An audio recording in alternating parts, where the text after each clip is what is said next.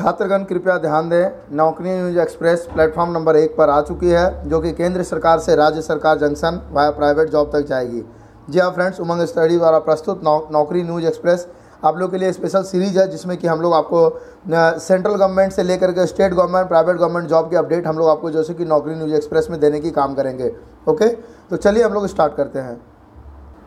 तो सबसे पहली जो अपडेट आ रही है फ्रेंड वो भारतीय तट रक्षक नाविक पद के लिए आ रही है। इसका अंतिम तिथि की बात करें तो 8 नवंबर 2019 रखा गया है। इसकी शैक्षणिक योग्यता की हम लोग बात करें तो किसी मान्यता प्राप्त बोर्ड या संस्थान से दसवीं पात या समकक्ष समकक्ष इसकी योग्यता आपके पास होनी चाहिए। वेबसाइट की बात करें तो इसका वेबसाइट है join Indian Coast Guard dot gov dot in okay? अगली जो अपडेट आ रही है फ्रेंड्स वो आपका आ रहा है राज्य स्वास्थ्य समिति बिहार। तेरह सौ ग्यारह फार्मासिस्ट पद के लिए आ रहा है। इसके अंतिम तिथि की बात करें तो इक्कीस नवंबर 2019 है। इसकी शैक्षणिक योग्यता की बात करें किसी मान्यता प्राप्त बोर्ड या संस्थान से बारहवीं पास या समकक्ष योग्यता रखा गया, ये इसके वेबसाइट का लिंक है, ओके?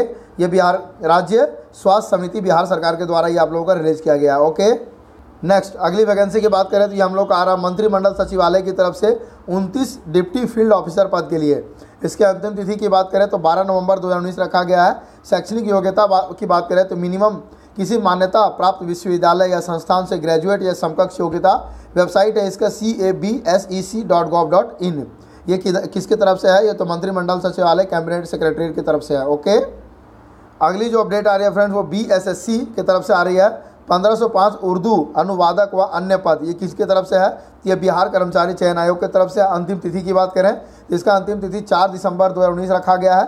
शैक्षणिक योग्यता की बात करें तो किसी मान्यता प्राप्त विश्वविद्यालय या संस्थान से ग्रेजुएट या समकक्ष योग्यता होनी चाहिए वेबसाइट की बात करें तो इसका वेबसाइट है B S S C dot B I H dot dot in okay इसी में थोड़ा सा करंट अफेयर भी डिस्कस कर लेते हैं फ्रेंड करंट अफेयर संक्षेप में ठीक है जैसा कि आप सभी को पता ही होगा फिर भी एक बार रिविजन कर लीजिए जीसी मुर्मू ने जम्मू कश्मीर तथा आर के माथुर ने लद्दाख के पहले उपराज्यपाल पद की शपथ ग्रहण की next justice S A Bobde को भारत का सैंतालीसवां मुख्य न्यायाधीश नियुक्त किया गया है। तीसरा सीरिया में अमेरिकी सेना द्वारा किए गए एक विशेष अभियान में आतंकी संगठन इस्लामिक स्टेट का सरगना अबू बकर अल बगदादी को मारा गया।